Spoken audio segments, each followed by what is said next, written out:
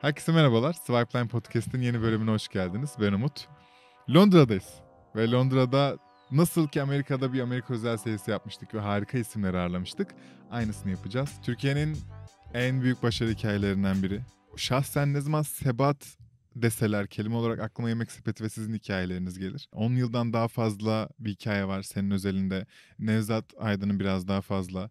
Diğer ortakları tam emin değilim onu konuşuruz. Haliyle uzun ve bol öğrenimli bir bölüm olacak. Yeniden çok teşekkür ederiz e, geldiğin için. Başlamadan önce sadece sponsorlarımızı tabii ki yani bu e, güzel hikayenin sponsorları var. Öncelikle Otelze bizim konaklama sponsorumuz. Artık nereye gitsek onlarla beraberiz. Çünkü hakikaten eğer yurt dışına yurt dışına herhangi bir yere gidiyorsanız sizin en kolay şekilde herhangi bir otelde konaklamanızı sağlayacak platform orası. O yüzden kesinlikle öneriyorum. Açıklama kısmında var. E, ve bölümün sponsoru Midas. Eğer Midas'ı bilmiyorsanız hem Amerikan borsalarına hem de Türkiye borsalarına yatırım yapabiliyorsunuz. Güzel olan şey e, Türkiye borsalarında herhangi bir şey ödemiyorsunuz. E, ek masraf ödemiyorsunuz. Sadece çok düşük komisyonlarla yapıyorsunuz bunu. Amerikan borsalarında ise bir buçuk dolar gibi çok inanılmaz küçük bir hizmet bedeliyle birlikte bu işlemi yapabiliyorsunuz. Bence en güzeli haberler, bütün bu analitikler, grafikler, oradaki bilgiler ücretsiz. E, haliyle kendinizi geliştirmek için de bir finansal okuryazarlık öğrenmek için de e, Midas'a başvurabiliyorsunuz ve kullanabiliyorsunuz. Mutlaka gidin göz atın diyorum. Açıklama aşağıda. E, sohbetimize başlıyoruz. Bilgisayar mı okuyorsun? Boğaziçi bilgisayar. Orada olmak o yıllarda nasıl bir şey? Çünkü aslında yemek sepeti hikayesi de biraz Boğaziçi temeliyle başlıyor değil Kesinlikle mi? Kesinlikle öyle bir şey var. Bir kere Nevzat'la beraber aynı dönemde Boğaziçi Bilgisayar'dan mezun olduk. Ee, tabii Nevzat 93 girişli. Hı hı. Ben 95 girişliyim. Ben 93 Boğaziçi, doğdum. Boğaziçi Bilgisayar'a. Şöyle ben aslında ikinci tercihimdi Boğaziçi Bilgisayar. Birinci? Birinci tercihim endüstri mühendisliğiydi. Ee, böyle enteresan bir şey. O zaman en yüksek puan oydu. O yüzden onu istiyordum. Ama bilgisayar oldu ve ben aslında çok da mutlu oldum. Ee, yani sonrasında severek okudum. Hı hı. Ee, bilgisayar mühendisi aslında çok bana göre bir şeymiş. Oradaki yaratıcılık, hı hı. E, hakikaten dünyaları yaratabilme kabiliyeti parmakların arasında. Ya, güzel o, şey ya gerçekten evet, güzel o, bir o ve o vizyon yani hakikaten bir de hep bunu anlatırım ben.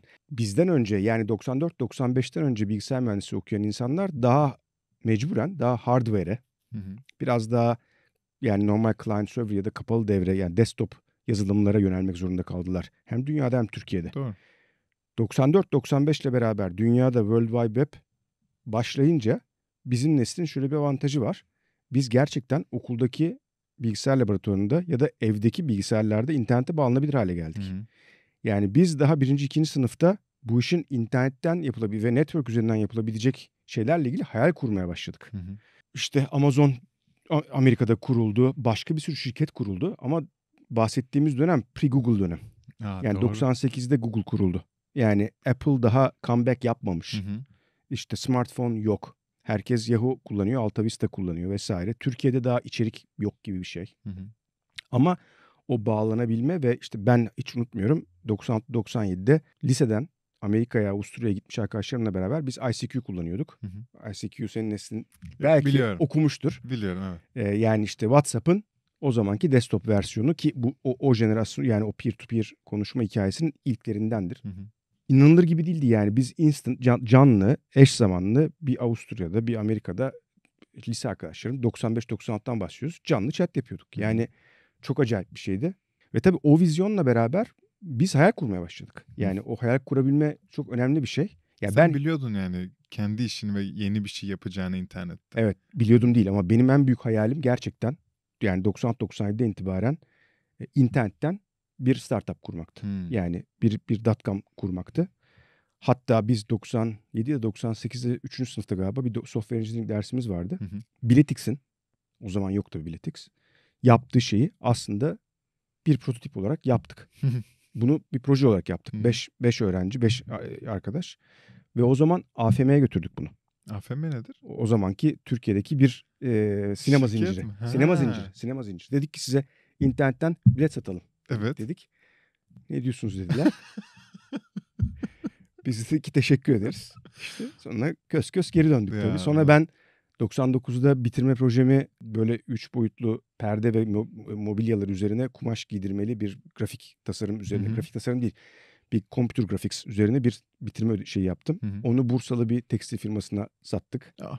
Evet. Öğrenciler Ya olarak. öğrenci ben sattım. Benim Ha, benim bitirme, benim bitirme şeyimde onu onu sattık. Yani böyle bir iki ufak deneme oldu orada. Hı hı. Ee, ama hayalim gerçekten büyük bir şey yapmaktı. Sonra bitirdik okulu. İşte Nevzat Amerika'ya gitti. Herkes bir yerlere gitti falan tabii. Boğaziçi bilgisayar mezunusun. Hı hı. Bir de ben iyi de bitirdim okulu. Hı hı. Ee, dereceyle falan filan.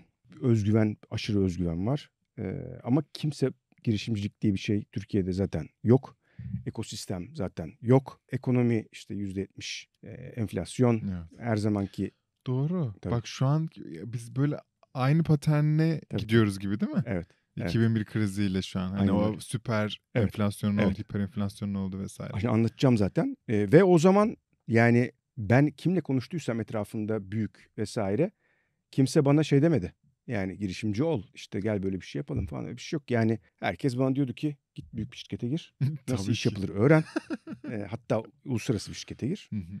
Ben de çok az işe başvurdum. Citibank'a işe girdim. Türkiye ofisine. Türkiye Citibank'ta e, hatta hazinede işe hazinede işe girdim. Kurumsal hazinede. Ama yazılım yani şey olarak e, işte MT olarak girdim. Ama e, açıkçası hazineye yazılım geliştiriyordum. Aa, tamam. Evet. Bir sene kaldım. Ee, işte o dönem Nevzat Amerika'ya gitti. O da MBA yapıyordu. O da internet ortamına falan yakın olmak için oralara gitti. Ee, işte yazışıyoruz vesaire. Ben hakikaten otururken şeyde Biz arkadaşsınız ünite- biz arkadaşız üniversitede. tabii beraber mezun olduk. Hatta bizim ortak şeyimiz daha çok bölümden değil bizim BÜSAS dalış kulübündendir. çok zaman geçirdik dalış kulübünde Anladım. beraber. Sonra bir sonraki bizim mezuniyetten bir sonraki mezunlar gününde. Boğaziçi mezunlar gününde işte benim zaten o ara böyle arayışım var. Yani ben Citibank'ta yapasın. çalışıyorum ama devamlı kaşınıyorum. Ha, tabii ki. Hatta Ali Karaali benim patron yani hazinenin başındaki adam. Hı hı. Ee, ona devamlı şey yapıyordum. Ali abi bak burada bunu yapmışlar. Hı. Burada bunu yapmışlar. Falan. O da diyordu ki otur işini yap diyordu. Bayağı falan. 24-25 falan yaşındasın değil mi? 24. 24. 23 hatta yani 19'da girdim 23'te çıktım. Ee, çünkü hazırlık mazlık okumadım üniversitede. Aha. 23'te çıktım. İşte İlk işin bu. Tabii ilk işim Ve bu. sen gidip bir, patrona diyorsun ki abi böyle böyle Evet. bir şey. evet. ya çok garip bir şey işte bu ya. Konuşuyorduk falan. O dedi ki zamanı gelir boş ver acele etme falan filan. Ama ve Türkiye'de tabii 99'dan bahsediyoruz. Türkiye'de ilk bugün adını bildiğimiz hatta yani 2010-15'li yıllara damgasını vuran şirketlerin ufak ufak oyuncularının sahaya çıkmaya başladığı dönemler bunlar. Hı hı. Yani bunlar kimler var? İtiraf.com, hı. Ekşi Sözlük, Gitti Gidiyor, işte Yemek Sepeti gelecek falan. Ya bunlar hepsi böyle sonra hikayelerini öğrendiğin zaman aslında açıp okuyuyorsa okuyucular Hı ya da dinleyiciler hakikaten o dönemler bir yere. Çünkü orada bir şey var. Yani 98-99'dan itibaren Türkiye'de bir sürü ISP kuruldu. Hı hı. Ee, ciddi bilgisayar kampanyaları yapıldı. Hı hı. Haliyle evlere bilgisayar ve internet girmeye başladı. Böyle olunca artık internet biraz biraz daha bilinir. Bir pazar, bir mecra olmaya doğru gitmeye başladı. Haliyle de benim gibi daha taze mezun, işte biraz daha cesur insanlar yavaş yavaş oralara girmeye başladılar. Biz de tam bir sene sonra başka şeyler de vardı açıkçası. Benim açımdan, Nevzat'ın açısından. Ha. Farklı alternatifler de vardı. Sonradan kurulan başka şirketler, benim dahil olmadığım, Nevzat'ın dahil olmadığı vesaire. Bizim ekip yani Nevzat, ben, Gökhan ve hatta o zaman başka biz dört Boğaziçi'li yola Hı hı. çıkıyorduk. Ee, sonradan biz kurmaya karar verince e, bir Boğaziçi'li düştü. Yani gel gelemem ben dedi. Onun yerine benim bir çocuk arkadaşım Cem Nüfusi'yi aldık. Ha, Ve biz Nevzat Aydın, ben, Gökhan Akan, Cem Nüfusi dördümüz yola çıktık. başladınız. Evet. Bu ekip ne kadar beraber ilerliyorlar? Şöyle söyleyeyim. Biz kurulduğumuz hatta ya incorporate olduğumuz tarih Eylül 2000. Kasım'da işte demin konuşurken ekonomi çok kötü gidiyor. Kasım'da overnight hatta 9 Kasım galiba e, dolar 600 binden 950 bine çıkıyor. Of. Bir gecede. Bir gecede %50 devalüasyon. evet. Onu takip eden 4-5 ay sonraki işte bu Ecevit hükümetinin e, anayasa fırlatma krizi, şey anayasa kitabı fırlatma krizi vesaire ve e, Şubat iki, yani o döviz kuru Şubat'ta 1.7'yi gördü. Yani 1.7 milyonu gördü. 600 binden 1.7'ye.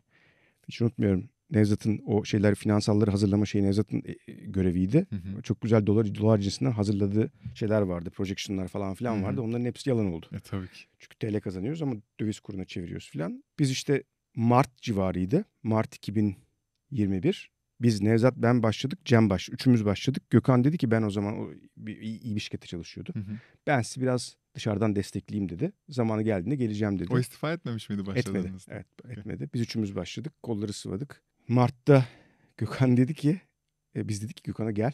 O dedi ki nereye geliyorum ben dedi. Memleket yandan gidiyor. Siz Evet. hiçbir şey görmüyor musunuz filan dedi. İşte kavga dövüş. Klasik. Gökhan gel- gelemedi gelmedi. Hı hı. E, işte onun hisselerinin bir kısmı bize dağıldı falan filan. Hı hı. Gökhan kendi yoluna gitti.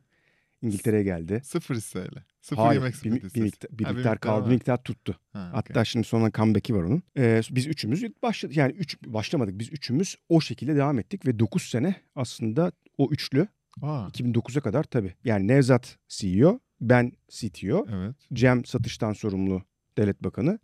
Üçümüz bayağı 9 sene boyunca hakikaten çok sert, çok sağlam yollardan geçtik. İlk 5 senemiz işte break-even'a gider, gelen yol falan filan. Ben 2005'te askere gittim falan filan. Orayı şey sormak isterim abi. İlk günden beri para kazanan bir iş mi bu? Şöyle. Bizim iş modeli o zamanki modelde şimdi de çok fark yok ama bugün galiba restoranlardan listeleme ücreti alıyor emin değilim. Ben de bilmiyorum. Bizim yola çıkmış şeklimiz şuydu tamamen. Restorandan listeleme almıyoruz. Hı hı.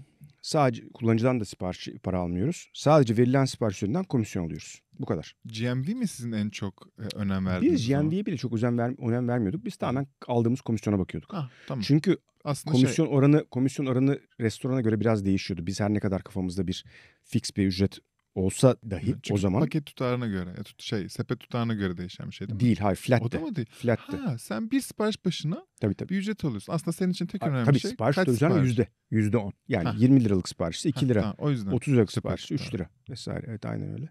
Öyle başladık. Hı hı. Ee, ve uzun süre öyle gitti. Haliyle unit economics açısından evet dipte bir, bir gelir var. Ama biz siparişi restorana faksla iletiyorduk başta. Çünkü o zaman internet restoranda internet yok. Abi bir dakika. Siz net şu kafayla kurdunuz ama değil mi? Biz internet üzerinden insanların yemek siparişi vermesini Evet, sağlayacağız. evet.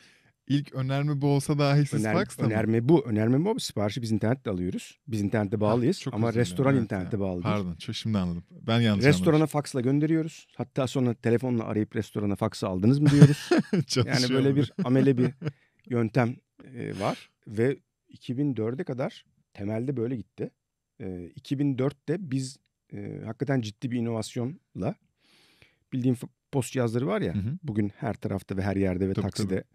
Biz o zaman post cihazlarını acaba biz çünkü hep kafamızda şu vardı. Restoranları nasıl kolay online yaparız? Hı hı. İşte o zaman hala desktop, laptop pahalı şeyler. Tabii. Restoranda koyacak yer yok. İnternete bağlı değiller. Mesela hala ciddi bir takım challenge'lar var. Ve bizim aslında bir desktop'a ihtiyacımız yok. Bizim internete bağlı bir printer'a ihtiyacımız var. Bu kadar. Evet. Bir de bize geri aldım sinyali verebilecek basit bir cihaza ihtiyacımız var. Evet. Düşünüyoruz ne yap- yapılır mı böyle bir cihaz? Yapılır ama acaba onun yerine böyle post geldi aklımıza. Lipman diye bir e, post şirketi var İsrailli. Sonradan Verifone satın aldı. Onların Türkiye'de bir operasyonu vardı. Onlar ve Türkiye'de finans dışı uygulamalar yapmaya başlamışlardı. Hı hı. Konuştuk. Olur dediler. Oturduk beraber onlarla yazılım geliştirdik. Onlar postun üstündekini yazdılar. Biz dışındakini yazdık. Hı hı. Ve restoranlara koyduğumuz postlarla biz restoranları online hale getirdik. Böylece resto- restorana zaten var olan küçük post cihazlarından bir tane daha koyup Hı hı. onları yemek sepeti terminali haline getirdik. Aa, onlardan sipariş geliyordu. Evet. Onlara tek tuşla verdim. Evet. Hatta hatta şöyle söyleyeyim. Şimdi restorandaki sorunlardan bir tanesi restoran gürültülü bir ortam. Tabii ki. Ee, ve mutfağa yakın olması lazım cihazın ki yani oralarda bir yerde kaybolmasın. E, o cihazların hiçbirinde ses çıkmıyor o cihazlardan. Biz ne yaptık? Gittik Karaköy'ün arkasına e, porttan hayır, bir tane e, ambulans sinyaline benzer bir ışıklı ve ses çıkaran bir şey koyduk. Sipariş verdiğinde Sipariş geldiğinde o ötüyordu. E, Aa. ve görüntü bunu şey hiçbir yerde dinlememiştim. Evet. Teşekkürler anlattığın için. Sonra onlar da bir tuşa basıp bize onay veriyordu. Hı hı. Ve o çıkan bugün hala yani Uber Eats'in, Deliveroo'nun vesaire kullandığı yöntem bu. Hı hı. Post cihazlarından alet şey çıkıyor. Hı hı. Printer printout'u alıyorlar, mutfağa veriyorlar. 1'e 2'ye basıyorlar. Onay ya da red veriyorlar. Hı hı. Ve iş bitiyor. Biz 2004'te yaptık bunu. Hala aynı şekilde kullanılıyor. Bu Çok konuşacak şey var bu konuda zaten. Hani sizin ne kadar büyük ve önceden başlayıp olup tamamen maksimize ettiniz mi yapabileceğiniz şeyi bence meçhul bu Yok soru. edemedik. Tamam bunu konuşacağız abi.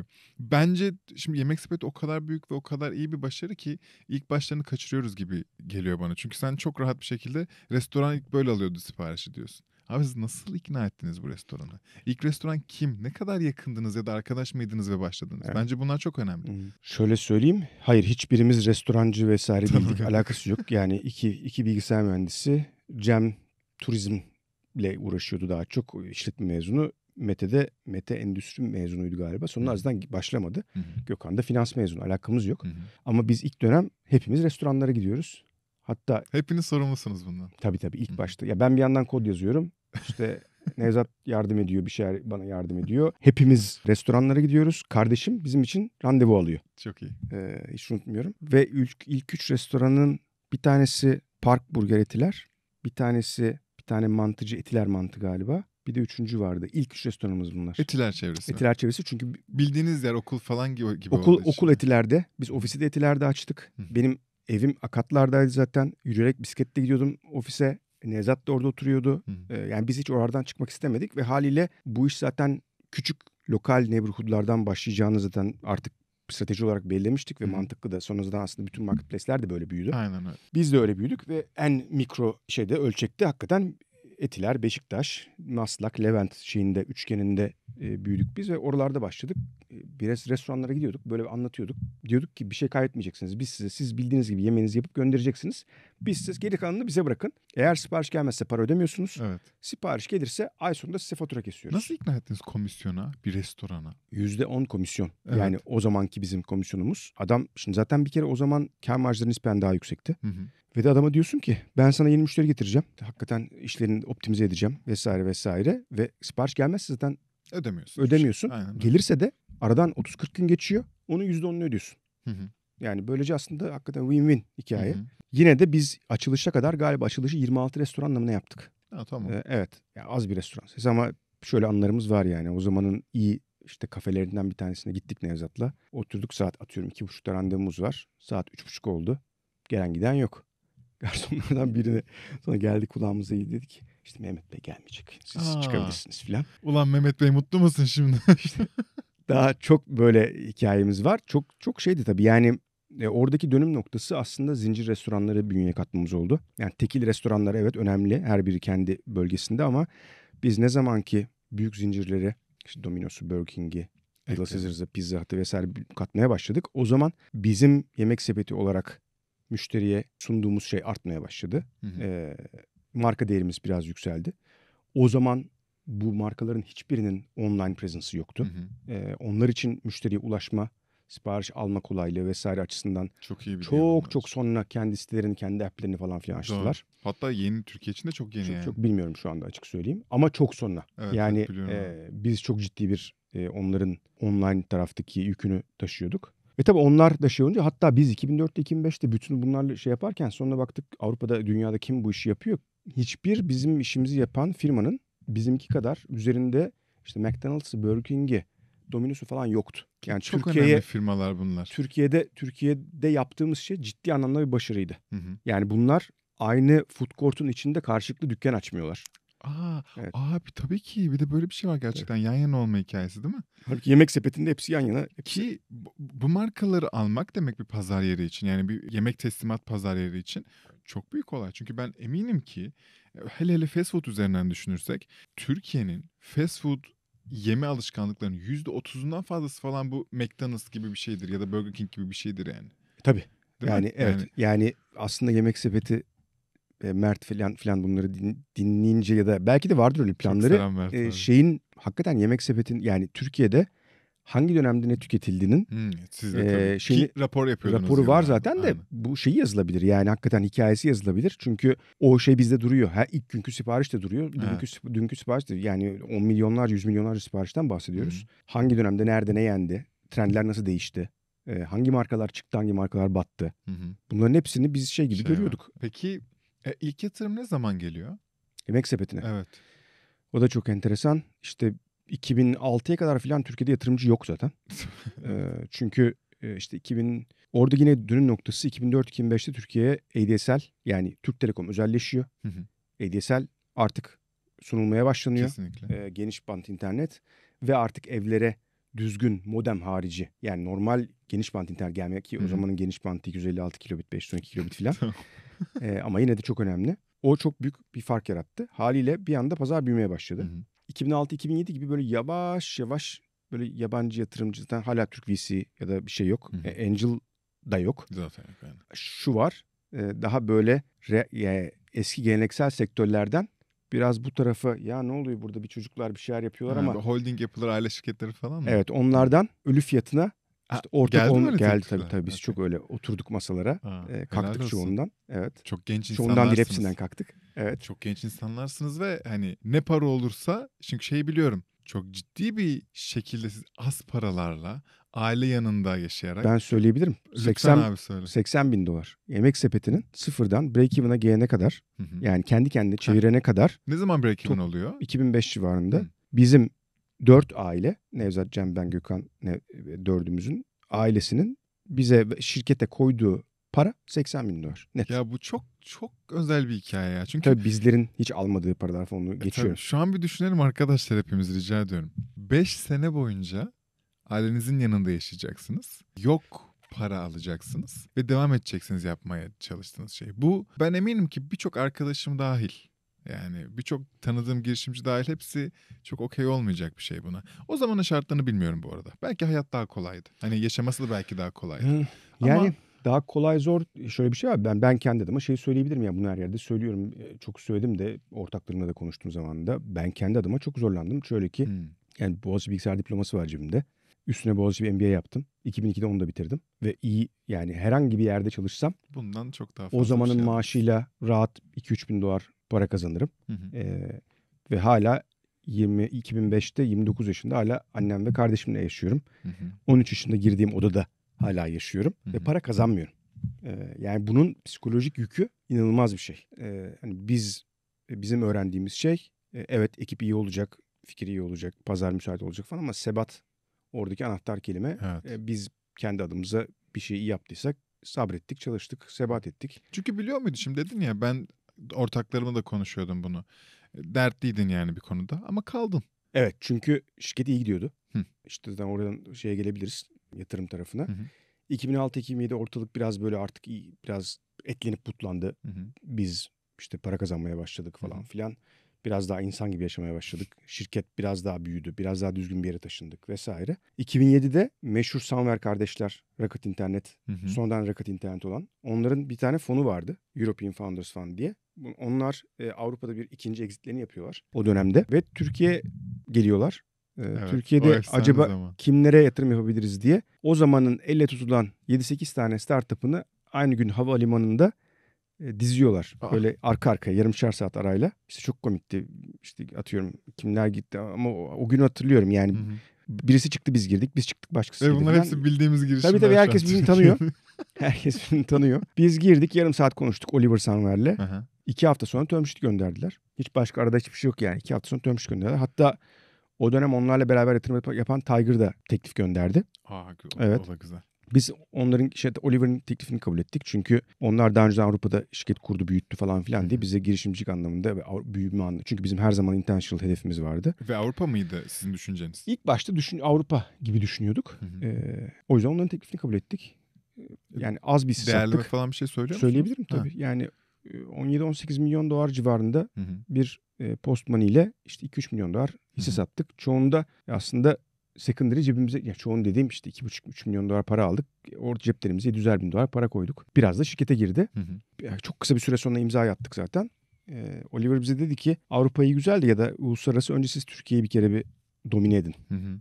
Kaç dedi. şehirde vardınız ki o zaman? O acaba? zaman daha çok azdık. Yani İstanbul, Ankara, işte İzmir, Bursa filan Beş büyük 4-5 şehir şehirde vardık ki o şehirlerdeki operasyonumuz bile böyle yarı franchise gibi bir şeyle gidiyordu. Hı hı. Çünkü Türkiye'de telekomünikasyon hala pahalıydı. Hı hı. İşte bizim call center hizmeti var falan filan. Hı hı. O yüzden öyle yürütüyorduk. Dedi ki bunların hepsini alın, own edin ve büyüyün. Çok hızlı. Biz de o iki sene hem onu yaptık hem de bir yandan aslında uluslararasına hazırlandık. Bir yandan da benim işte bu zamana kadar benim altımda yürüyen ve çok da büyük bir ekip tarafından yapılmayan bütün teknik altyapıyı değiştirdik. Baya sen yazıyorsun her şeyi ya. İlk 2009'a kadar evet Senin ben, kodun var. ben ve evet 2-3 kişi daha. Ee, ama 2005'e 6'ya kadar yalnızım. Sonraki İlk yatırım aldığınızda ekip kaç kişi? 4. İlk yatırım aldığınızda ekip 4 kişi. Teknik ekip 4. Ha, tüm ekip? 20-30 Hı, tamam. o kadar. Sonra işte bana hatta bu- bunu niye, niye hatır, iyi hatırlıyorum çünkü Oliver bana döndü dedi ki senin ekibin kaç kişi dedi. Dedim 4. Böyle dondu. dedi ki yarın 8 kişi olman lazım dedi. Yarın. Ama biz tabii o zamana kadar o kadar cimri olmaya alışmışız ki yani paramız zaten yok. O yüzden harcamamamız lazım. Böyle bir şey olduk yani nasıl olacak ki o nasıl alacağız falan. Sonra yavaş yavaş büyüdük tabii ama hiçbir zaman böyle uzun süre daha aslında o masraf bilinciyle hareket eden şey bizim kafamızdan ve DNA'mızdan çıkmadı. Hı hı. Ee, hiçbir zaman çok eli bol olmadık yani. Peki e, ilk şey ne zaman başlıyor? Yani ilk günden gerçekten Türkiye'de bütün şehirlerde olmaya başlıyor musunuz? Ne zaman? E, Bu ilk yatırımdan hemen sonra Hayır, bu hayır. mantığa girebiliyor musunuz? Yok yani? yavaş yavaş büyüyoruz. Ama 2010 falan geldiğinde e, yani 2010 2010 2011 bayağı bir 15-20 şehre falan gelmiştik diye hatırlıyorum. Hı hı. Benim eski sunumlarda var onların şeyleri. E, Yemek sepeti zaten verir. Belki beslersiniz altta görsellerle Hı hı. falan. 2012'de Gen Atlantic geldiğinde Hı hı. esas büyük yatırım Evet. ve o zaman artık O zaman mesela duyurmadınız diye hatırlıyorum şeyi. neyi? Rakamı da değerlemeyi de değil mi? Değil mi? Ben mi yanlış hatırlıyorum? Ya da? Biliniyor diye biliyorum. Ha, belki ben yanlış hatırlıyorum. Biliniyor diye evet. biliyorum. Yani 100 Onlara milyon- bakmadım çalışırken Evet. buna. Değerlemelere bakmadım. Çok şey yani. değil. 2012'de yani artık o zaman Türkiye'de ekosistem de vardı. Hatta bizim yatırımı da tetikleyen önemli bir şey gitti gidiyorun exit'iydi. Evet. Yani 2011 ya da 12'de işte gitti gidiyor eBay'e satıldı 200 küsür milyon dolara. Hı hı. O bizim jenerasyonun ilk exit'iydi. Ee, Burak, Serkan, e, bütün ortakların ekibi birbirimizi iyi tanıyorduk. Hı hı. E, hatta GBA'nın kuruluşu da o dönem. Hı hı. İşte Sinalar yavaş yavaş topa girmişler. Türkiye'de şey em, bu flash sale hikayeleri Hı hı. yürüyor. Trendyol ya kuruldu ya kurulmak üzereydi. Marka Kurulmuştu. Evet çünkü Demet bizde staj yaptı Yemek Sepeti'nde Yemek 2011 ya da 12'de. Ben böyle bir hikaye duydum evet. Evet. Ya biz de orada işte iyi yani işte Yemek Sepeti'nin hakikaten e, belli başlı oyunculardan biri olduğu yönden bahsediyoruz. C'ye yatırıma geldiğinde biz zaten Rusya'ya girmiştik. Emirates'e girmiştik. E, Arap Emirlikleri'ne ve büyüyorduk. Bir dakika. Arada 5 sene var. 4. Siz araba yatırım almıyorsunuz. Yok. Ve o parayla aslında şey şirketin kasasına da çok fazla para Yok ama girmiyor. şirket zaten Ama para üretiyor. Için, Tabii, ha, tabii para biz- basıyor aslında. Tabii tabii işe. şirketin kasasına giren para 700-800 bin dolar. Hmm. Biz e, yani bütün o yeniden IT yapılanması, Türkiye'yi büyütme, dışına açılma falan bunların hepsini şirket Hepsini kendi kendi parası. parayla yaptı. Çok büyük bir şey ya Hmm. bu.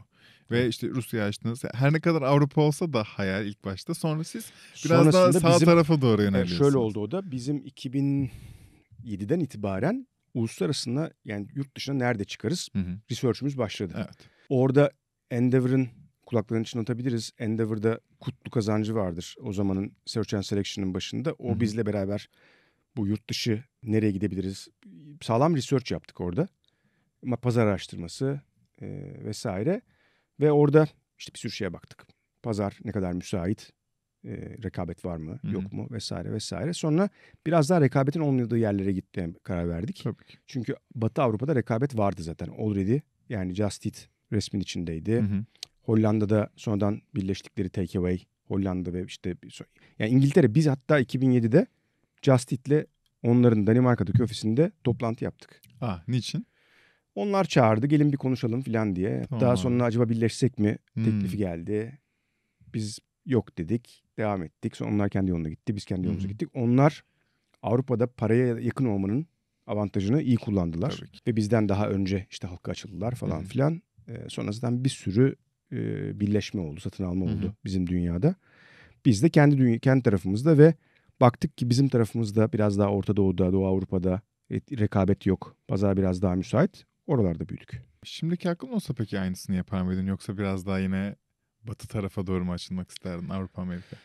Onu Ee, merak ediyorum. 2008'de aldığımız yatırım bunun için müsa- şey değildi. Ve Oli, e, ya bunu bilmiyorum Nevzat ne kadar söyledi ama yani ben söyledim zaman zaman. Oliver'lar biz onlardan destek alamadık. Öyle mi? İstediğimizde tabii hatta gittiler sonra e, bizi rakip Asya'da şirket açtılar. Açtılar. açtılar. Evet, Doğru. tabii ki. O da çok büyüdü. Tabii tabii. Foodpanda'yı aç bizi rakip oldular. Yani şöyle oldu. Biz E bu Orta Doğu'da büyüdük. Onlar Asya'da büyüdüler. Sonra, sonra, buluştunuz bir biz, yerde. biz Dubai'de ya da Suudi'de rakip olduk. Evet. E, bu şey yani bir konflik bir şey yaratmıyor mu Ee, peki? şöyle Sizin 2012 sözleşmelerde Var. falan. 2012'ye kadar bizim bölgesel bir non-compete'imiz vardı. Hı hı. 2012'deki GA anlaşmasından hemen önce e, Oliver'lar o non-compete'in bölgesini daralttılar. Aa, Ve ondan sonra o futbanda böyle geldi. anladım abi çok iyi anladım. E, ne oldu da yatırım aldınız ilk? Hemen bir geriye merak ediyorum. Yani şirket para yapıyor. 2007 8'de mi? 2008'de. O tamamen hem cebimize biraz para koymak için Ha tamam. ama hem de yani çünkü hakikaten 8 senedir çalışıyoruz Evet. ve bir kuruş birikmiş paramız yok. Ya da bir şey almamışız yani bugüne kadar. Ee, iki, teklifin geldiği insanlar önemli insanlar. Hı hı, Evet. Yani o zaman Rocket daha yoktu ve e, Avrupa'da böyle bugünkü gibi bir sürü celebrity entrepreneur, celebrity yatırımcı falan öyle bir şey yok. Hı hı. Yani yani Sanver kardeşler dediğin zaman o gün her ne kadar bir takım kötü ünleri olsa da Evet. bunlar hatırı sayılır. Evet önemli insanlar. E, onlardan gelen iyi bir teklifi Değerlendir. niye almayalım ki? Bir de çok da hisse de satmadık. %15 civarı hisse sattık. Çok E, hali haliyle e, hani böyle bir iyi bir boost oldu. Bize Hı hı. moral boost oldu daha çok. Tabii.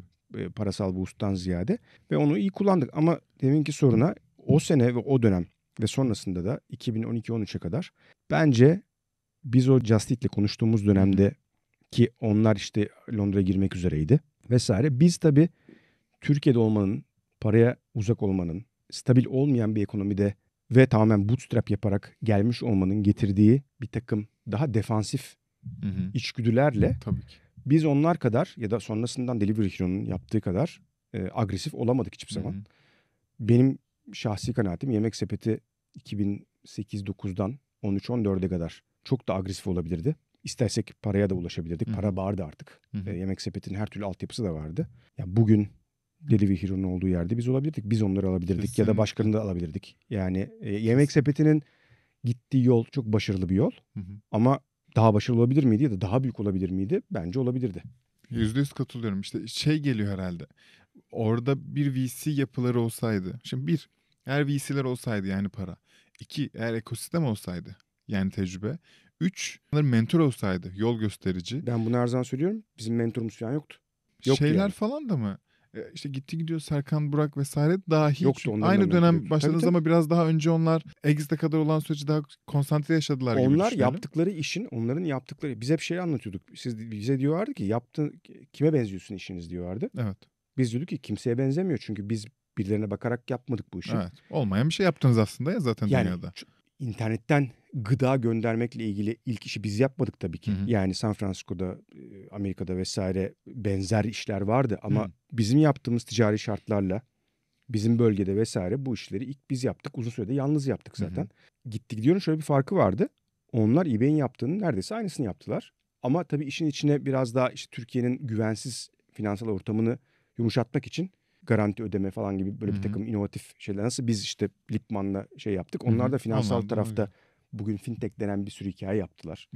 Ee, ve o sayede aslında Türkiye gibi ya biz Nevzat'la yani yürümez bu iş falan diyorduk. Yani gitti gidiyor için. Ah. Hakikaten öyle. Ben, söylerim, söylerim yani. Ee, ama o acayip onlar da sebat ettiler. Orada tabii. çok ciddi e, bence işi oldurmak için yaratıcı şeyler yaptılar. Ve tabii o zaman da eBay hakikaten büyürken o zaman da eBay bugünkü gibi değil. Yani eBay En büyük o gün evet, olay. yani öyle. Amazon, Amazon sonradan yok. geldi aynen Evet. öyle. O zamanın eBay'i çok önemli. Ee, yani eBay gitti gidiyor aldığı zaman büyük olaydı. Ve Türkiye'de 2011'de 200 milyon dolarlık exit'ten bahsediyoruz. Çok büyük hikaye. Ha, acaba Serkan Burak işte gitti gidiyor kapandı geçtiğimiz çok yakın zamanda. Üzülmüşler Duydum. midir Evet, yani? Üzüldüler biliyorum. Değil mi? Evet. Çok yani senin gibi bir hikaye sahipler onlar da. Tabii ki. Ne kadar Tabii ki, tabii sebat ki. edilmiş Tabii uzun ki. zamanlar var vesaire. Kapatılsa gerçekten üzülürdüm. Neyse. Yani ben inşallah öyle bir şey görmeyiz ama yani İnşallah. bundan 8-9 sene sonra yemek sepeti kapanırsa çok üzülürüm. E, tabii ki Bir yani. şey olmaz herhalde. Yanlış hatırlamıyorsam sonradan gelen ortağınız Cem Hı. 2019'da ayrılıyor. Yok. E, 2009'da ayrılıyor. Çok üzere 19 demişim. Doğru. Çok çok sonralara geldi. Doğru. Bu sen de varsın hala o zamanlar. Bir şey etkiliyor mu? Çünkü yine yanlış hatırlamıyorsam satıştan ve şeyden sorumlu değil mi Cem? Evet. Neyi etkiliyor? Gidişi herhangi bir şey etkiliyor musun için? Çünkü Şöyle hep ortakların bir gidip geldiği bir yemek sepeti hikayesi var ya her zaman. Yani var var. tabii. Ortaklar hep e, ya anlaşamıyorlar ya başka fırsatlar doğuyor. Aralarında kötü veya iyi şekilde ayrılıp geri gelebiliyorlar ki yine yanlış hatırlamıyorsam Gökhan da sonra dahil oluyor geri. Doğru, Bunun doğru. ikisini de bir anlatsana Doğru, bize. tabii. 2007 ya da 8 işte yatırım 8'de yatırımı aldık biz. O aralar bir kere o 7-8 sene hepimiz çok yorulduk. E, tabii ki. Yani e, Anormal bir efordan bahsediyoruz maddi zaten. manevi çok yorulduk. Biz Nevzat'la daha yani işte hem aldığımız eğitim gereği hem kafa yapısı hırslıyız. Büyütmek istiyoruz falan. Anlaşı yani çok şey e, ne denir ona? Yan yana gerçekten iyi kimyanız olan iki iş ortak mısınız? Şöyle ikimiz de bilgisayar mühendisiyiz. Hı hı. İkimiz de oldukça böyle sert kişiliğe sahip insanlarız. Haliyle çok iyi işler de çıkardık beraber. Çok kavga da ettik. E tabii ki. Evet. Yani ama şirketin önceliklerini kendi önceliklerimizin önüne koymayı çok Hı iyi becerdik çok uzun süre ve produktif olmayı becerdik. Hı hı. O sayede zaten Yemek Sepeti hem hayatta kaldı hem de çok uzun süre aslında çok inovatif, yenilikçi bir şirket olarak Kesinlikle öyle. bir sürü başka startup'a e, rol model oldu. Hı hı. Cem de bizi çok iyi tamamlıyordu. E, şöyle ki yani ne Nevzat ne ben Cem'in yaptığı restoranlarla gidip birebir görüşme. İşte o restoran e, yüzlerce binlerce restorandan bahsediyoruz. Hı hı. Türkiye'nin bir sürü yerinden bahsediyoruz. Bunun içinde bir her türlü demografik yapı var. Cem çok daha insan ilişkileri bizden çok daha iyi olan Hı. bir adamdı. Yani ben bilgisayar karşısında olmaktan daha mutluydum. Hı hı. Nevzat daha arada ama yani biz ikimiz de işte bilgisayar mühendisliği okumuş. Biraz da hakikaten dünyada ne olup bitiyoryu kovalayan adamlarız. Cem biraz daha ayakları yere basan, daha ayakları Türkiye'ye uygun Hı hı. bir adam. İyi tamamladık. Çok birbirimizi. önemli bir Evet, çok önemli. Aynen öyle. Biz yapamazdık Cem'in yaptığını. E, haliyle biz 7-8 sene çok iyi tamamladı. Sonra biraz yoruldu. Biraz yeni bir yer yani yeni bir yolculuğa çıkmak istedi. Tamam. Ee, ve bize 2008'de dedi ki ben gidiyorum. Nereye gidiyorsun dedik. Bilmiyorum dedi. Gideceğim. Sadece Aa. gideceğim. Ee, işte nereye yani ben hakikaten dolaşacağım uzun bir süre. Vesaire. Biz dedik ki hemen gidemezsin.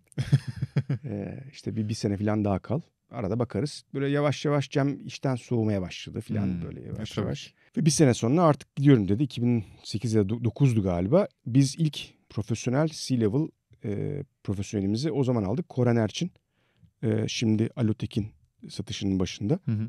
Cem'in yerine Koran bize katıldı. Ve ilk C-level şeyimiz odur. Koran'dır. İşte. Cem gitti. Cem'in yerine Koran geldi. Aralarında ciddi bir böyle handover oldu. Hı hı. Çok profesyonel ve Cem'le Cem'in hisseleri şirkette kaldı 9 sene sonra. Yani normal yani öyle bir satarak falan çıkmadı. Aa, Tabii e, hisseleri şirkette kaldı. Ta sonra işte biraz Gökhan geldiğinde biraz da o zaman o dönem bir melek yatırımcı küçük şey roundumuz olmuştu 2011'de. Biraz da orada sattı ama Cem final exitini bizle beraber 2015'te yaptı. Biz 2015'te aslında kurucu 4 ortağın iki- %40'tan fazla hissesiyle sattık. aa, Şirkete, tabii. Çok çok iyiymiş kalması bırakması. Evet. Ve o, zamana kadar beklemesi. Bu- Bunu bilmiyordum mesela. Sonra da aradan bir sene geçti 2010. Biz Gökhan'la her zaman konuşuyorduk. Gökhan'ın az bir hissesi vardı şirkette. Nerede çalışıyor o Gökhan o zaman? Londra'daydı. Bir hedge fund'da çalışıyordu. Hmm. Arada konuşuyoruz filan. O zaman da bizim bir CFO'ya ihtiyacımız var. E artık düşündük Nevzat'ta Gökhan yapar yapamaz ya da konuştuk Gökhan'la. İster misin? O da dönmek istiyor Türkiye'ye. Onun da evli ve kızları birinci kızı doğmuştu. Hı hı. Konuştuk oldu. Geldi. 2011'de Gökhan CFO'muz olarak biraz Cem'den hisse aldı. Hı hı. Yani hissesini biraz daha makul bir yere Hı hı. çekti. Cem de biraz exit etmiş oldu hafif. Ya herkes mutlu. Ee, biz yine üç ortak olduk Hı hı. işin başında. O sefer de artık Melih, Nevzat, Gökhan üçlüsünün e, dönemi başladı 2013'e kadar. İşte sonra 2012'de o kadro bu şeyin de gitti gidiyorun exit'i, trend yol. Yani Türkiye artık böyle bir bir şey olmaya başladı Hı hı. Türkiye'de. Bir arzu nesnesi de olmaya başlamıştır eminim o Evet zaman. e, haliyle bize artık e, şeyler gelmeye başladı. Yani ciddi yatırım teklifleri gelmeye başladı. Hı hı. İşte 2012'de GA'in yatırımıyla finallenen İlk size mi yatırım yapıyordu General Atlantic Türkiye'de? Atlantic Türkiye'de bildiğim kadarıyla hala başka bir yatırım yok yanılmıyorsam. Ha öyle mi? Ama ilk ben ilk olduğuna kesin- eminim de acaba daha fazla biziz. var mı? Ben de hatırlayamıyorum. Bildiğim kadarıyla bizden sonra olmadı. Hatta çok istedikleri firmalar vardı. İsim veremem ama Tabii ki. çok büyük isimleri kovaladılar. Hı hı. Ee, ama olmadı. Ve önemli bir yatırımdı biz e, Türkiye için, bizim için. Ve işte dediğim gibi o yatırım ola bence çok da agresif gidilebilirdi. Hı hı. Çünkü dünyada artık yaptığımız iş, alan, piyasa nerelere gidilebilir artık çok iyi biliniyordu. Kesinlikle. Yani Biraz daha oturmuştu evet, artık şey. oturmuştu herkes. Ve zaten ondan sonraki o 2012 ile 2016-2017 arasında çok anormal hareketli bir sektörden bahsediyoruz. Hı hı. Yani Amerika'daki işte Grubhub, Seamless, Avrupa'da Just Eat, Takeaway, Asya'da Foodpanda, işte sonradan kurulan Uber Eats, Uber işe Hı hı. girdi. Deliveroo, Deliveroo. vesaire, Yani vesaire. burada büyük Böyle olay. bir sürü oyuncu çıktı. Bunların hepsi sonradan çıktı. Amerika'da DoorDash Kesinlikle. e, Grab up. vesaire. Sonradan zaten sonradan bu Last Mile e, Delivery. Delivery on Grocery hikayesi çıktı. Hı hı. İşte getirin modeli Hı hı. falan filan. Sonra bunlar yavaş yavaş birbirine merge etti. Yani ama bunların biz tabii işin içinde çok daha eski bir şirket olarak ve oturmuş bir şirket olarak hem insan kaynağı hem teknoloji olarak hem iş yani kültür olarak en eskilerden biriyiz ve hani iyi yapanlardan biriydik. Hı hı. Yani delivery işte e, şimdi atladık oraya ama 2012'de gelen yatırım oldukça önemliydi. Hı hı. Sen 2013'te ayrılıyorsun Haziran'da. Hı hı. Tam 10 sene önce. Evet. Doğru. Ee, anlatıyor musun neden ayrıldığını? Şöyle biz 2011-12'de böyle yavaş yavaş Nevzat'la biraz fazla kavga etmeye başladık. Hmm. Produktif kavgalar olmayanlar Biraz artık proaktif mi? kavgalar olmamaya başladı. Hı. Ee, ben de biraz yorulmuştum açıkçası. Artık dedim ki madem öyle ben koltuğu bir profesyonel devredeyim, hı. devredeyim CTO koltuğunu. Hı hı. E, bir de yemek sepetinin CTO'su olmak gerçekten çok zor bir şey. Tabii ki. E, çünkü Hep bir challenge var hayatında. bugünkü gibi bir de şöyle düşünmek lazım. Bugünkü gibi işte cloud'un olduğu, coinat servisi al hı. gibi olduğu filan bir dönem değil. Her şeyi kendimizin yaptığı bir dönemden bahsediyoruz. Yani benim bakmadığım herhangi bir alan yoktu. Hı hı. Yani öyle ben normal bir yönetici falan değil olamadım pek. Yani kodda yazdım, hardware'de dö- şey yaptım, server'da aldık. Hı hı. Kolumuz koltuğumuzun altında e, makinede döşedik. Security ile de uğraştım, network ile de uğraştım. Bir de bunu hem Türkiye'deki hem de dünyada bizim işi yapan ya da başka işleri yapan bir sürü firmadan farklı olarak 7 çarpı 24 yapmaya çalıştık. Hı hı. Bir de call center var şirketin yemek, işte yemek sepetinin içinde. Yani hem fizikselde canlı olacak 7-24 call center'da adam çalışacak. Onlar her zaman online olacaklar. Her an sipariş alacağız, restorana ileteceğiz. Ve bunlar hiç kesilmeyecek. Asla. Mümkün değil ya bu böyle bir şey bu arada. Ya yüzde yüz çalışması mümkün olan bir makine değil bence bu. Yani hiçbir makine %100 çalışmaz. Ama e, bizim mesela en büyük challenge'larımız ofis taşımaktı. Çünkü yani düşünsene ofisi taşımak zorundasın ama down olacaksın. Yani Evet. o zaman cloud ya da böyle şey yok ki. Yani hakikaten e, servisi kesmen lazım. evet. Biz mecburen ne yapıyorduk? Yeni ofisi açıyorduk. Orada ayağa kaldırıyorduk. Sonra oradan de karşılıyorduk siparişleri. Bu tarafı kapatıp gidiyorduk falan Anladım. böyle. Ve biz bunu 2000 ben benim son taşınmam 2012. Ne sonra onlar Tekfen'deki yeni, yeni yere taşındılar. Orada ben artık yoktum. Büyük eforlar. Hı hı. Ee, haliyle ben yoruldum. İlişki biraz yoruldu ve artık orada ben dedim ki iyi bir ben ben dedim ki o zaman kendi yerimi kendim e, halefimi kendim bulacağım. Hı hı. Bülent Akır'ı gitti gidiyor oradan Hı hı. transfer ettik. Ee, Bülent'e ciddi 5-6 aylık bir zaten tanıyordum ben Bülent'i piyasadan. Bizim sektörün hakikaten en iyi in- şeylerinden yetişmiş insanlarından biridir ve tecrübeli. Bülent'e 5-6 aylık bir böyle devir teslimi yaptıktan sonra gönlüm rahat. Aslında özgür. Evet. Sen bir Evet. rahatlamaya doğru. Ben gidiyorsun. rahatladım. Evet. 2010, 2012 sonuna doğru karar verdik. 2013 Haziran'ında ben ofisimi boşalttım. E, orada herhangi bir şey oluyor mu? Hisse tarafına sen yine bırakıyorsun. Ben zaten 2012'de GA geldiğinde bir miktar Bir satmıştım. kısmını satmıştın. Ee, herkes satmıştı bir miktar. Ben bir çift daha fazla sattım. Hı. Ama ciddi hissem vardı hala. Hı hı. Ee, ama işte 2015'i ben board'da kaldım zaten. Yani board'dan çıkmadım. Ha tamam ben acaba şeyi hep merak ediyordum. Sen bir günde tamamen yemek sepeti sayfasını Hayır, hayır. kapattın mı Yok. yoksa biraz Ben içeride board- devam board'da ettin? kaldım ve Hı. ciddi hissem vardı. Hı hı. Ee, biz 2015'te Mayıs ayında exit ettiğimiz gün zaten board, board'da ben vardım. Anladım. Ee, ve hepimiz beraber exit ettik. Hı hı. Ve dediğim gibi yani hakikaten şey önemli bence. Ya 15 sene sonra 4 kurucu ortak. To- Toplam %40'tan fazla hissemiz vardı. Ve beraber Çok exit rakam. ettik. Çok güzel. Valla işte insan helal olsun diyesi geliyor. Sonra diyorsun ki ne haddine Umut'cum. Sakin ol. Peki nasıl bir şey Nevzat Aydın'la ortak olmak? Zor. Değil mi? Nevzat'ın kolay bir insan olduğunu kimse söyleyemez herhalde. O, yani o kendisi de Senin kadar kimsenin şey yok ama. Deneyimi yok. O yüzden. Yok. Bence en doğrusu bu soru sana soruluyor. yok. Nevzat güçlü bir karakter. Çok güçlü bir karakter. Çok zeki bir adam. Bizim e, hakikaten çocukluktan çocuk yani ben ben bugün baktığım zaman yani 19 19 20 yaşındaki insanlarla konuştuğum zaman çocuksun yani E, yaşta. tabii ki canım. Haliyle yani gençlik, çocukluk yani üniversite arkadaşısın ve hakikaten çok cesur. İşte Amerika'daki NBA'ni bıraktı, geri geldi. Ben Citibank'tan istifa ettim falan vesaire. Hakikaten biraz böyle cahil ve genç cesaretiyle yola çıktık. Çok da uzun bir yolculuk yaptık beraber. Hı hı. Ya birbirimizi üzdüğümüz zamanlar oldu, destek verdiğimiz zamanlar oldu, birbirimize el uzattığımız zamanlar çok oldu. Yani ben yaptığım her şeye e, yine yaparım yani hiç şey yapmam. Evet. E, ama tabii ki çok yorulduk. İlişki de yıprandı. Hı hı. Ve işte hakikaten zaman zaman yani özellikle sonra doğru fikir ayrılığı olan şeyler vardı tabii. Ee, biraz da o yüzden artık yollar Neyle ayrıldı. ilgili fikir ayrılıkları bunlar? İşte mesela o zaman artık yemek sepetinin yapabileceği çok şey vardı. Hem yurt dışı hem yurt içinde yapılabilecekler, yurt dışında Tabii ki. yapılabilecekler vesaire. E, bir yandan koruş devam ediyor. Devamlı her şeyi ayakta tutmak gerekiyor vesaire. Yeteri kadar insan kaynağı bence hala yoktu emek sepetinin Hı hı. elinde. Para vardı, vizyon da vardı. Ama o, ondan evvelki senelerde daha tek bir vizyon peşinde koşabiliyorduk. Artık orada opsiyonlar çoğaldı ve insanların hayatında işte mesela Nevzat bir iki ufak tefek yeni bir şeyler yapmaya başladı. Hı hı. GBA'yı kurduk. Hı hı. Ben ufak tefek bir iki bir şey yapmaya başladım vesaire. Belki orada biraz fokusumuz da dağıldı. Hı hı. Haliyle artık Bir orada iki yani ufak bir şey ne demek? ben ilk yatır, yatırım yapmaya başladım. Ha, Yani. O, o- onun için de mi aynısını söylüyorsun? Ufak için- tefek dedin ha yatırım. Nevzat'ta hatta Dragons'den Ya evet ya ne Türkiye'de- kadar komik. Evet. Nevzat Dragons'da ne? işte Trabzon'a yönetici oldu. Aa, harika. Evet evet doğru. Evet. O dönemler onlar 2011-2012. Nevzat Aydın'ı dışarıya çıkartırsak ortaklık hakkında hani çünkü 13 sene bir fiil ortak olarak siz çok başarılı bir şey yaptınız ve tecrübeleri zaten hayal bile edemiyorum. Ve bunu her zaman birkaç ortak beraber yaptınız. Bazısı gitti, bazısı geri geldi, evet. daha gelmedi vesaire. Ortaklık hakkındaki düşüncelerin ne? Ben 70'ten fazla şirkete yatırım yaptım. Melek Çokmuş. yatırım yaptım. Bunlar melek yatırımlar. Hı hı. Yani kendim direkt şirkete yaptığım yatırımlar. Hı hı. Bir de bir sürü fona da yatırım yaptım. VC'ye. LP'yim bir sürü şirkette. Ee, haliyle bunu GBL yaptıklarım var, kendim yaptıklarım var vesaire bir sürü şey var. Ama yüzlerce ortaklık gördüm. Hı hı, Onu söyleyebilirim. Kağıt üstünde, pratikte, hı hı. batan çıkan, başarılı olan vesaire. Bu iş yani girişimcilik hikayesi e, çok zorlu bir yol olduğu için tek başına yapılabilecek bir şey değil. Hı hı.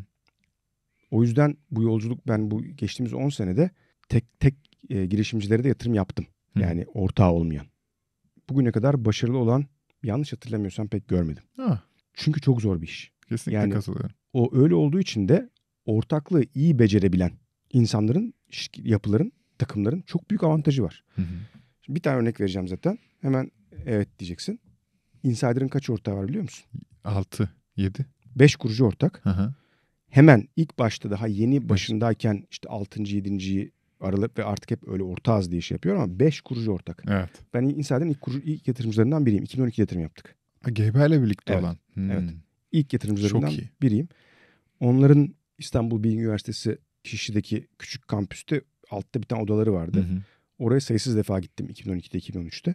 Kurucu ekibin işte Hande'nin, Serhat'ın, Arda'nın vesaire Sinan'ın hayalleri o zamandan beri işi nasıl yaptığını falan çok iyi biliyorum. Hı hı.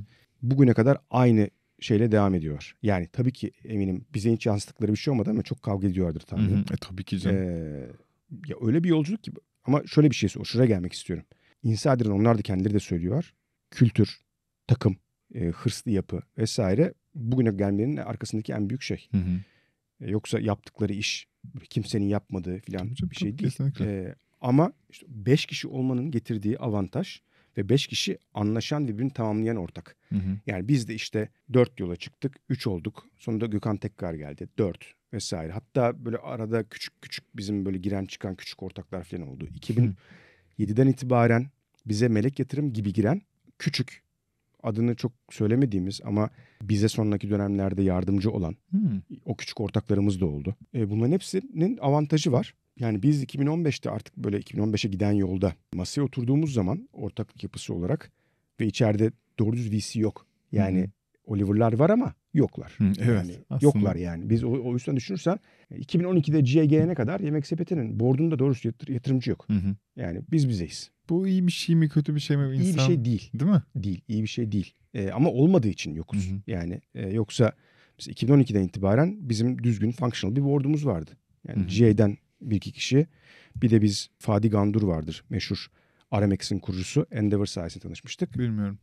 Meşhur yani Bakayım. Orta Doğu'da şeydir böyle e, Orta Doğu'nun Steve Jobs gibi bir adam. Allah Allah. Evet Aramex'in kurucusu çünkü. acaba. Fadi, Yazdım Fadi'ye de biz rica ettik. Dedik ki bizim board'a girer misin? Dedik ki küçük de bir hisse al. Hı hı. Verdik ona 500 bin dolar karşılığı bir de küçük hisse. Güzel. ve ortak oldu. Ve 3 senede bizle beraber board'a şey yaptı. Yani Hı. O zaman 2012'den itibaren bizim böyle bayağı düzgün bir board'umuz vardı. Hı hı. C-level yöneticilerin zaten işte Barış pazarlamaya geldi. Kıvılcım HR'a geldi. Ee, bir sürü insan aldık. Ee, o dönem ciddi bir şeyimiz vardı. Artık bir global oyuncu seviyesi var evet, gerçekten. evet. yani. Ama bence yine de işte zaten şeye baktığın zaman Yemek Sepeti'nin exit hikayesine baktığın zaman 2009'da kurulan Almanya'da lokal bir oyuncu olarak kurulan Ringdienst sonradan. Delivery Hero oluyor. Hı hı. 2011'de lokal büyümeye, international olmaya karar veriyorlar ama paraya o kadar yakınlar. yak- Sadece yakın olmak değil tabii. iyi raise ediyorlar. Hı hı. Çok hızlılar. Acayip bir M&A makinesi. Hı hı. 2011'den 2015'e kadar bizi satın aldıklarında yanılmıyorsam ya şirket değeri 4 milyar euro civarındaydı. 2 milyar euro civarında para etmişlerdi. Yani 4 senede şirketin yarısı zaten Başka- borç para. Aynen öyle. Bizim bizimle alakası yok. Yani biz sadece tek bildiğimiz şey organik büyüme. Hı hı. İşte o zamana kadar biz galiba bir iki tane e, satın almaya Yunanistan'da bir şirket satın almıştık. Hı Bir hı. de Orta Doğu'da galiba böyle bir şeyler yapıyorduk. Nevzat daha hakim o taraflara. Hı hı. Ama yani bizim en iyi bildiğimiz şey hala kendimiz yapalım, kendimiz yapalım. Sanırım hepimizde bu var ya ve çok iyi bir şey değil. Hele bulunduğumuz Değil. durumda. Orada demin konuştuğumuz şey bizim daha erkenden bize biraz daha mentorluk yapabilecek, bizi biraz daha Kesinlikle. ittirebilecek, bu işleri görmüş bilen bir VC ya da PE vesaire neyse içeride olsaydı mentor Hı hı. belki hakikaten bu fırsatları daha iyi yakalayabilirdik diye düşünüyorum. Görüşüyor musunuz Nevzat Aydın'la? Az. Okey. Sadece merak ettim. Ama zaten ben bir merak. 7 senedir buradayım. Yani Hı hı. 6,5 senedir. Nevzat orada. E, zaten 2 sene öncesine kadar şirkette devam etti. Evet ya. Evet, İnanılmaz gerçekten. O, o da garip bir hikaye. Neyse. Şeyi merak ediyorum. Her şeye sahipsin artık abi. Yani para, tecrübe, network. Şimdi memleket farklı memleketlisin. Belki buradaki ekosistemi de biraz inceleme fırsatın olmuştur. Yani farklı bir aksiyon anlayışı da görmüş oldun. Ama bir şey yapmadın. Hı. Yani bu bir travma mı? Ee, artık o çok ağır bir dönemin ve işte o gitgelli ortaklıkların bir travması mı? Yoksa yok keyfim çok yerinde ve bir daha neden böyle bir derde gireyim ki gibi bir şey mi? Yok orada çok gidip geliyorum. Hmm. Bu çok şey bir soru yani benim için çok kilit bir soru bu. Kesinlikle. Ya ben 2013'te koltuğu yani odayı bıraktığım zaman Hı hı. ne yapacağımı bilmiyordum zaten açık söyleyeyim. Çünkü e, hem çok ciddi bir karar hem çok yorgundum filan. E, bir iki seneden dinlenme kararım vardı. Aynen öyle. Hatta 2014'te ben Güney Amerika'ya gittim. 3 ay dolaştım tek başıma. Çok güzelmiş. Evet hep hayalimdi. E, onu yaptım. Sonra 2015 falan gibi artık böyle yeni ne yaparım falan diye böyle kaşınmaya başladım. Hmm. Yavaş yavaş bakıyordum falan. Sonra Türkiye'de işler iyi gitmemeye başladı. Yani aslında benim Türkiye ile ilgili kırgınlığım, e, negatif düşüncelerim vesaire çok net söyleyeyim geziyle başladı. Yani geziden önce de vardı ama Birçoğumuz. gezi, gezide gezide biraz bu işler böyle hakikaten çirkinleşti. Kesinlikle. Sonra 2015 hatırlarsan işte bombalar patladı, iki tane seçim, kur fırladı falan filan. Bizim exit oldu. Şanslı bir dönemde oldu exit. Hı hı. Kur fırlamamıştı. Aynen tam şeyden önce. Evet, tam iki seçim. 2016'dan iki seçim, evet, 2010 E sonra Darbe 2016'da öncesi. 2016'da darbe. Hal ve benim ben 2015'te evlendim. Hı. 2016'da kızım oldu. Nisan'da doğdu. Temmuz'da da darbe oldu. Ve sen hala İstanbul'dasın. Ben hala İstanbul'dayım. Hı. Hatta şöyle bir şey söyleyeyim. Ben yeme içmeye çok meraklıyım. Yani yemek sepeti işte yemek konu olunca bize hep şey diyorlar. İşi anlamayanlar. Aa yemek işte ne yapıyorsunuz filan diye. Biz de diyor ki yemek yapmıyoruz biz Hı hı. e, filan. E, ben ama severdim mutfağa girmeyi. Hala severim. Yani hı. yapıyorum da. Böyle hep hayalimdi. Böyle bir, bir yerim olsun. Bir şeyler yapayım falan filan. Benim yeme içmede olan bir arkadaşımla beraber biz 2016 darbe civarında tarih olarak ben Arnavutköy'de bir yer açıyorduk biz. Gerçekten mi? Evet. Baya mekan açıyor. Arnavutköy'de mekan açıyorduk. Aynen öyle. Çok garip. Evet. Yeri bulduk. Kira kontratı sözleşme gidip geliyordu. Hı hı. Ben Bodrum'dayım. Darbe oldu. Ve Ben dedim ki Ben gidiyorum. ben yapmıyorum. Ve çünkü işte kızım ufacık iki buçuk aylık falan filan böyle bilmiyorum çok ben çok negatif etkilendim. E, Tabii ki. Bir sürü insanın olduğu gibi. Dedim ki yani 15 senedir burada bir şeyler yapmaya çalışıyoruz.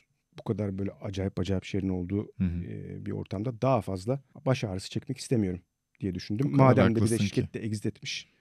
Zaten rahat Bağlayıcı bir şey bağlayıcı bir burada. şeyim yok. O önemli bir şey tabii. Çok Evet, önemli bir şey. Öyle. Ee, o yüzden dedik ki bir deneyelim yurt dışını. Ve bir araştırma şeyinin sonunda İngiltere'ye geldik. Hoş Ama geldin. işte senin soruna geri dönersek. Ve 10 yıldır hala bir şey yapmadın. Evet. O, o biz buraya geldik. Buraya yerleşme hikayesi falan filan.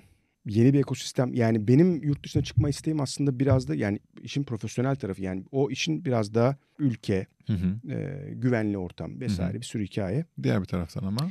Diğer taraftan da biraz böyle yemek sepeti kurucusu artık etiketini biraz ben çıkarmak istiyordum. Hı hı. Yani çünkü o hem iyi bir şey hem biraz lanet. Ne tabii ki. Çünkü senin bir sonraki adımının hep arkadan gelen bir şey var. Yani onu sıfırlamak bunu Amerika'da vadide çok yapan adamlar var. Hı hı. Yani işte Elon Musk hepimiz, hep- hepimizin şeyi yani o adam normal değil bizim Tabii standartlara göre ama ya da İsrail'de de çok iyi yapanlar var. Yani seri girişimciler. Gerçek anlamda seri girişi. Yani hakikaten biri yapıyor ya da ya var çok isim var. Reid Hoffman var filan. Ee, ekosistem işi bunlar. Hı hı.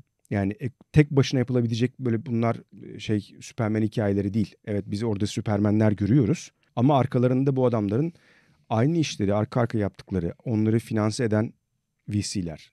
Aynı takımlar spin-off oluyor, Hı hı. devam ediyor vesaire. Biz Yemek Sepeti'nde ben kendi adıma onu, onu beceremedim. Hı hı. Yani ben Yemek Sepeti'nden tek başıma ayrıldım. Ekip sonra bir kısmı, kısmını içeri kaldı. Herkes individüel hareket etti. Hı hı. Haliyle biz şirketten böyle bir bir takım olarak ayrılıp ya da bitirip exit edip başka bir şey yapamadık. İşte ben buraya geldim, Gökhan buraya geldi. Nevzat devam etti vesaire. Bir de tabii uzun da bir yolculuk. Çok yorucu da bir yolculuk. O başka bir şeye evrilen ekip olamadık. Hı hı. Haliyle ben de buraya geldim. Burada yeni bir şeyler yapar mıyım diye şey yaparken Covid oldu. Evet. Biraz da tabii şey de var. Yani çocuk kızlarım oldu. O, o biraz daha rahat hayata da alışıyorsun. Ama hala benim içimde Var mı? acaba Ateş. daha bir şey yapar mıyım diye düşünüyorum. Gençsin. kırka- yok 46 yaşındayım. Ee, yanılmıyorsam işte Amerika'daki böyle çok başarılı olmuş girişimcinin ortalama yaşına bakıyorlar. 42 falan çıkıyor Aynen ama öyle. Hiçbir şey için geç değil. o Amerika'dakiler. Tutmayın kendinizi. Gözünü seveyim. Valla benim Başarılı bir yatırımcı buluyor musun kendini bilmiyorum. Bu çokça yatırım yaptın ki yani Başarılı insider bile tek başına. başarılı yatırımcı mıyım bilmiyorum. Bunu tarih söyleyecek bence. Evet. Yani işte insider bir gün yani insider'a ortak olmuş olmak benim için hem keyif hem de evet çok ciddi bir değer Yüzde kaçına yarattılar. sahipsin? Ha Sö- söylemiyor musun? Pardon özür dilerim. Ama ama fena değil. Fena değil. Yani bir gün exit Bir olursa yemek sepeti daha yapacağım diyorsun. yok. Bir yemek Bir o kadar olabilir bu daha arada. değil mi? Bir o kadar daha şey Çünkü yapabilirsin olabilir, aynı oranda. mümkün. Çünkü insider çok iyi gidiyor. Aynen öyle. Yani Yani biz, şimdi 2 milyar dolara yakın bir... biz 600'den exit yaptık. Onlar 2'ye geldiler. Hı hı. Ki daha gidiyorlar yani. Daha yolları var. Tabii Ee, kesinlikle. İçeride inanılmaz yatırımcıları var. Hı hı. Ya onlar bizden avantajlı olarak bir kere bizden benim işte 10 sene sonra kuruldukları 12 sene sonra kuruldular. Artık 1 2 nesil 2 nesil sonra mı bilmiyorum artık. Onun Sanırım- ne demek lazım bilmiyorum. Bana bazen bir nesil gibi geliyor bazen Ee, iki geliyor ama, ama bir tabii- diyeceğim. İşte dakika bir bir kere melek yatırımcılarla yola çıktılar. Hı hı. E, melek yatırımcı kadrosunun içinde Fıratlar var. Ben varım. Bir sürü insan var içeride. Hı hı. E, Emre var. Emre Hı Kurttepeli. hı. Ve biz 2015-16'ya kadar onların böyle ciddi bir functional bir board yoktu ama biz çok konuşuyorduk. Hasan Hasan Aslanoba var. Aa, Tabii. O GBA'dan değil kendisi girmişti. hı hı. Hatta e, GBA'dan kısa bir süre sonra Hasan ciddi bir ticket koydu. Kesin. O Evet, zamanlarda o zaman efsaneydi ya Hasan'ın, zaten. Hasan'ın saç saç dönemleri.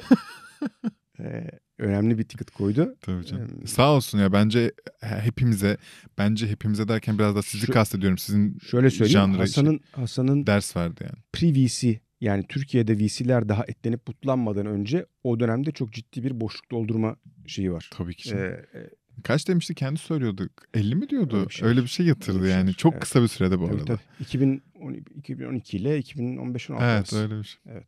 Umarım hayat daha güzel olur senin için. Sağ. Umarım istediklerini yaparsın. Çok teşekkürler. Gelip bu kadar güzel anlattığın için her Sağ şeyi ol. şeffafça. Ee, çok değerli bir şey bizim için. Sağ ol. Size de başarılar dilerim. Evet, teşekkürler. Arkadaşlar bitmesin istiyoruz ama bazen bitiyor. Çok teşekkürler izlediğiniz için. Mutlaka şu aşağıdaki çan var ya size haber veren biz video yüklediğimizde. Mutlaka ona tıklayın. Çok teşekkür ederiz. Bizleri desteklediğiniz ve izlediğiniz için. Böyle güzel seriler devam edecek. Sonraki bölümde görüşürüz.